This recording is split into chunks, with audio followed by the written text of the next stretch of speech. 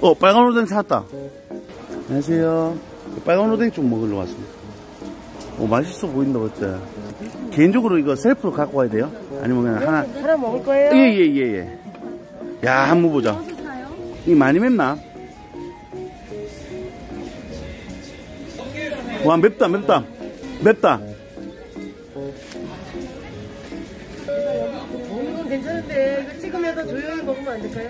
이- 여기 민원 들어와가지고 아, 진짜요? 예, 여기서. 누가 시끄러, 이만 보면 아주 노이로잖아요 아. 근데 내가 그래 시끄러웠나?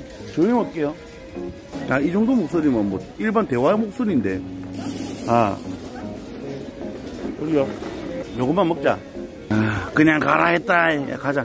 아, 요 정도 목소리도 못 내면 뭐 시장에서 뭐 다들 봐, 이런 거는 그럼 고성 아이가.